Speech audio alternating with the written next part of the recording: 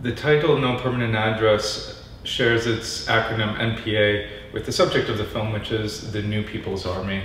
And it's a joke among the members, the Red Fighters of the New People's Army, that they have no permanent address because they are guerrillas and peripatetic. They're moving every day, um, sleeping in hammocks or on the ground in the woods. And it's this kind of way of joking about what really is their homelessness. Um, and for me, it's also symbolic of of Marxism and communism, which is the other subject of this film. You know, they embody um, the persistence of communism beyond its death that we hear so much about with the fall of the Soviet Union or the corruption of communist China. That Marxism is somehow passed along with the 20th with the 20th century, and no permanent address is a testament to its um, continued existence. And even though it has moved from you know a huge state of the USSR or of China to again being um, a hot battle in uh, a tropical jungle or or or, um, or tropical landscape, it still exists. Um, even though you can't necessarily locate it, it's in trying to find it that you realize that it will be everywhere and nowhere. So that's why it's called no permanent address.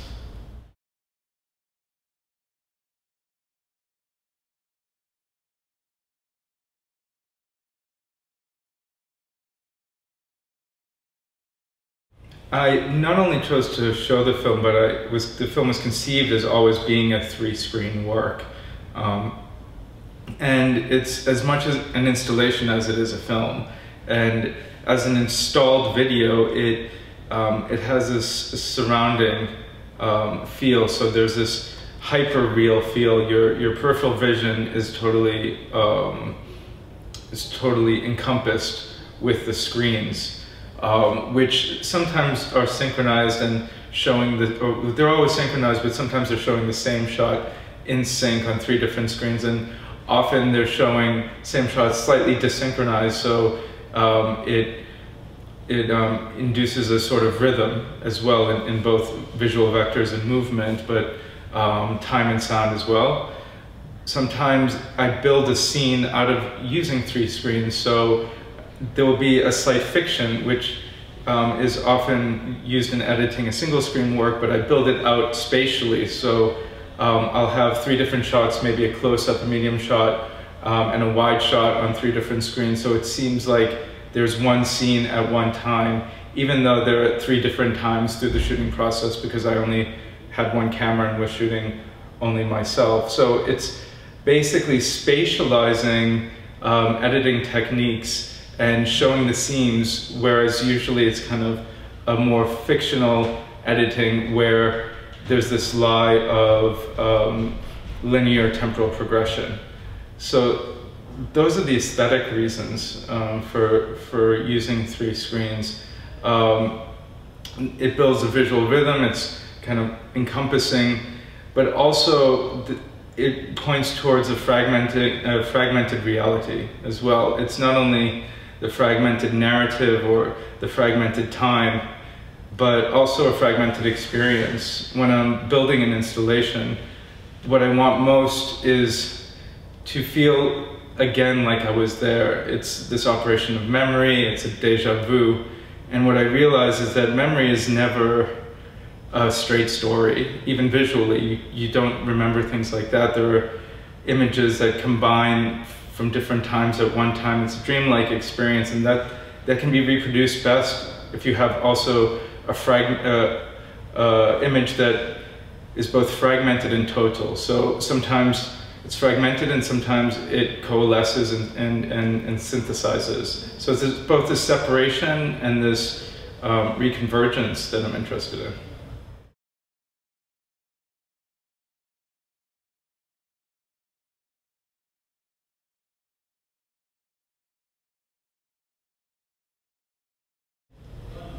I made the video No Permanent Address and the body of photographs along with it in 2010. I lived with two squads of, of New People's Army guerrillas for about eight weeks. and um, got to know them quite well. One of my techniques is to become intimate with my my subjects before um, I start filming, so I have a sense of trust, and also I know what it is I um, I want them to I want to hear from them, or what what what it is I want to ask them. Um, so I was very devastated to find out last year in 2012, um, in April and June, there were a series of ambushes and attacks from the Philippine military where um, my friends were killed mostly, maybe all. And there's confusion about who exactly was killed because not only were they massacred but also mutilated, um, many beyond recognition. So we know um, for sure some of their identities and some we don't. Um, it's also, for me, unsure exactly who among them, even though we have a list of names, since they all use pseudonyms or noms de guerre, it's unsure, it's hard to match the names with, with, um, with the faces. And I was actually asked to do that because my photographs and, and video are among the only records we have of many of these people. Um, and I was really struggling with that. I want to make a, a work that dealt with that, memorializing them, but also um, dealing with the struggle of representability of, of what it was that happened to them and at the same time what they stood for. In many ways, the video itself, and the permanent address, and the photographs themselves are already memorials because they're, they're um, images of um, valor of dead soldiers. But um, there's also their very death and massacre itself, for me, is, is unrepresentable. And to deal with that unrepresentability, I looked at um, some of the images I already had. And there was a piece of footage that I really loved that I didn't use in the, the three screen video because there was no place for it. And it was the last video I had taken of them um, the night before I left. I left in the morning. And it was the last video they were having a, a secret meeting to discuss their defense because they were anticipating anticipating an attack in the morning which is why I left in the morning because they thought it was too dangerous for me and I was filming as night fell. And so the last film I have is at the period of dusk. So sun, uh, the sun has set and it's getting progressively darker. And I didn't have lights, I only had this um, video camera where I kept increasing the gain, which is the way that you make the camera more sensitive to light. And in so doing, the noise or the grain of the video becomes more and more um, pronounced. Um, and it just gets darker and darker over the, a period of five minutes and the grain dissolves into um, red, green, and blue pixels, which become bigger and bigger. And it's an uh, abstraction that's also a technical limitation. It's an unintentional abstraction, but in looking at it, it's quite beautiful for me. Um, that it goes from a representation to and dissolves into abstraction and darkness. And also the camera can't reproduce exactly black and neither can the projectors, but it can reproduce these red, green, and blue pixels. Um, and red, green, blue is a kind of video format or, or a way of uh, videos uh, recognizes color. And so I called it red, green, blue to kind of point to that formalism and that unrepresentability. Um, I was also interested in how it mirrored in a certain way uh, Mondrian's progression from representative paintings through the plus and minus stage into his compositions in red, yellow, and blue and I really love Mondrian, and and I liked how that um, movement in his painting and theory was um, recapitulated in a video process.